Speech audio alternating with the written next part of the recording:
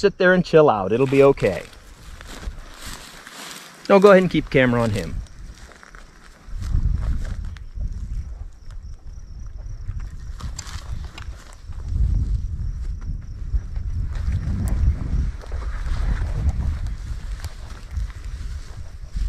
No, Wildcat, don't. No, don't do it.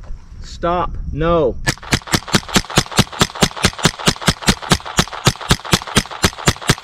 And for instructional purposes only,